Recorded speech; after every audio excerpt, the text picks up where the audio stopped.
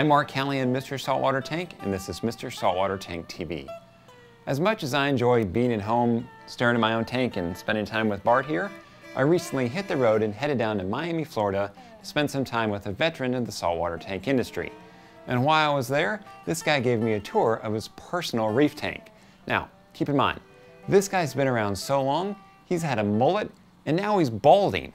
Who am I talking about? talking about the one, the only, Mr. Julian Sprung. Julian, we're on the short end of a long peninsula reef tank. I'm going to get to that in a minute. Two other short things are catching my eye. Mm-hmm. Water height and stand. Tell me about those two things. This tank uh, was something that I designed as, as sort of a 40th birthday present. And so I, I had wanted for years to develop a, a, tank that had a good standing wave in it um, and have a, you know, a surge uh, to be able to feature the Gorgonians like you see here. And so one of the things that, that I wanted to enhance was the ability to, to see that movement of water uh, in an open top tank. So I needed to have a, a, lower water level. I didn't want to bring the water all the way to the top, otherwise the water would have splashed out. And aside from that, there, there is this design element where the stand doesn't go all the way to the full length of the tank. I, I, knew I needed a certain amount of space for the sump. It's closer to the ground. Most stands are 30 inches tall, 36. Right. This is maybe 24? That's right, yeah. I, I wanted to keep the stand as low as possible so that I could get my hand in the tank without having to get up on a step ladder. Ah. Uh, so it was really my uh, armpit height is what we have right there. Uh, and that was a design consideration. If anyone wants to know Julian Sprung's armpit height, it's there it this is, tall. Right there. And uh, another thing you, you might not have seen too is the, um, the tank is, is uh, sitting on acrylic as opposed to wood or um, styrofoam. A lot of tanks are sat on styrofoam. Um, the effect that you get there when the sunlight comes through the windows uh, the light comes through and the tank sort of looks like it's floating over the stand. So no LEDs, we're looking at halides for lighting. That's right. And it's not that I'm uh, dissing LEDs. I, I, would certainly put LEDs over the tank. I have LEDs on some of the tanks here. Um, but uh, I, I, do like the, uh, the look of the 400 watt um, metal halides and then combined with uh, T5 or actinic. Unfortunately, we don't have the T5s on just yet, but uh, you know, you can see a nice uh, uniform light uh, with just two metal halides and a really wide uh, reflector design. Julian, this is a reef-ready tank. It's drilled. That means you got a sump underneath it. Take us underneath and show you what you got running down there. Show me the beast. Here is the beast. Um, there's really not a whole lot to show. This is um, basically a, a sump. Uh, water drains down, the uh, pumps pump it back. Um, there's uh, no protein skimmer. Um, all I have for filtration here is a PhosBan reactor with, with our hydrocarbon, activated carbon, and PhosBan. Um, I've got uh, an ultraviolet sterilizer, and that's about that's it. it. So yes. why no protein skimmer? It's not so much that I'm opposed to protein skimming. Um, on the one hand, it's nice to demonstrate an aquarium uh, that, that you can set up without one. But um, uh, a large part of the reason is that with the low stand that we talked about and the, the size that the sump needed to be, um, it's not really possible to put uh, an in-sump skimmer here. I would have to put an external skimmer either here or behind the aquarium. And I may do that someday. Um, the, the given fish population is, is borderline on the, the uh, level where, where it could use a skimmer. I mean, uh, there are clearly benefits to skimming the water. Uh, most of my aquariums are set up this way. There is a pump with plumbing going right behind you. That's correct. What is this bad boy? Okay, this is a refugium. This is my means of nutrient export, whether it's phosphate removal with the GFO uh, or growing uh, algae. Uh, I have to get in here uh, twice a week and I'm Trim pulling, yeah. yeah, pulling out lots of plants, especially on the weekends. Uh, so it, it, it's a challenge because at the same time I want this to be attractive. I, I, I like uh, having corals in there as well. And if I, if I don't prune it, uh, often, then the corals get overgrown with the algae, which isn't good. Speaking of overgrown, this mangrove looks like it could take yeah, over the house. It, it, uh, it could use a little trimming. This is the same mangrove that you see on the cover of the Reef Aquarium Volume 1. Been trimmed and trimmed and trimmed many times into this shape that you see here. It, it needs a, a, little bit more trimming. Look, you can see that that's gone right up into the, uh, into the light. The leaves are getting burnt right there. Any desire to raise up the light and get it to grow, take over the room a little no, bit more? No, I think it's it's as high as I'd like to uh, to get it. I want to keep that form. In fact, uh, I mean, I think this branch needs to go. That's a bit much. So this is your bonsai tree. This is a bonsai mangrove. That's right.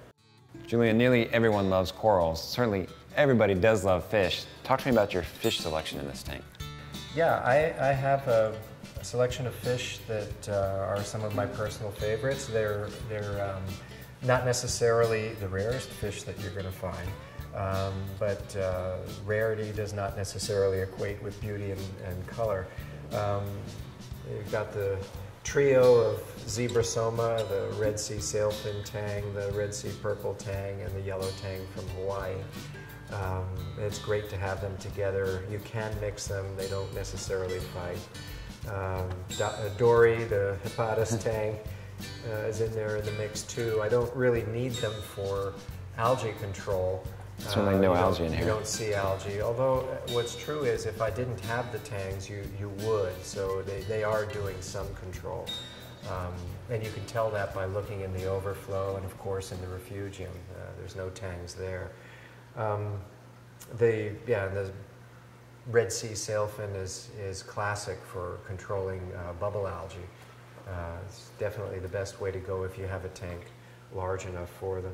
You know, damselfish are, are, tend to be scrappy and people consider them beginner fish and junk fish. Um, but that's not true of all of them. Uh, some of the damselfish are, are, rather benign and you can keep groups of them and they don't bother any, anybody. Uh, and that, that includes these blue with the yellow underside. Um, I think it's Hemicyanea. They call them village belle damselfish here.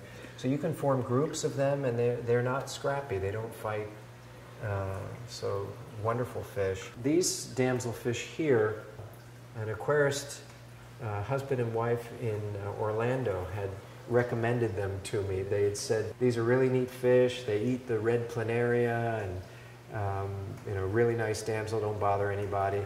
Um, when they're small, they're bright yellow. As they grow larger, they get more of a dull greenish yellow. And as you can see, they're laying eggs. They strip the tissue off the gorgonian and they lay eggs. And that's why he's keeping people away from yeah, it. Yeah, that's why all the beating up. That's when they get aggressive.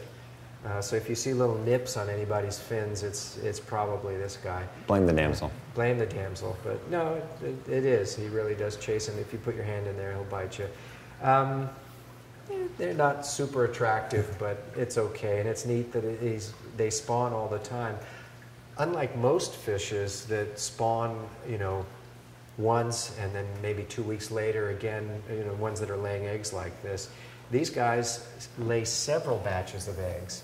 So you'll notice babies that are ready to hatch now and then newly laid eggs. So they're spawning several times a week. So there's always eggs there, which means there's always food. These, these larvae hatch, and that's food for the corals and the fishes. You don't so try I to like catch them and rear them? No, I haven't tried to rear them. I know that um, Todd Gardner up at uh, the uh, Long Island uh, Aquarium uh, has raised this species. Yeah, notice you have a harlequin tusk. Yes your harlequin doesn't get into mess with your clam. I don't see any shrimps or crabs in here though. The harlequin was a bit of a beast when I first put him in there. That harlequin was pretty rough on, on the fish when I first put him in there, you know.